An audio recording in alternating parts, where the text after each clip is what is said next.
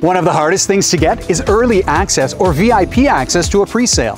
And we're here to do that for you. This is a sneak peek at the first pre-sale offering by Real Broker. It's called Garden 11, a boutique collection of one, two, and three bedroom nature inspired homes nestled on a quiet tree lined street corner in the Grandview Woodlands neighborhood of East Vancouver.